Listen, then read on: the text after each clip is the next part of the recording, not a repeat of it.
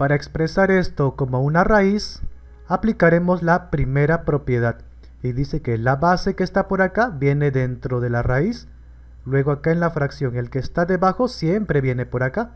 Y el que está arriba siempre como exponente. Y listo, ya lo expresamos como una raíz.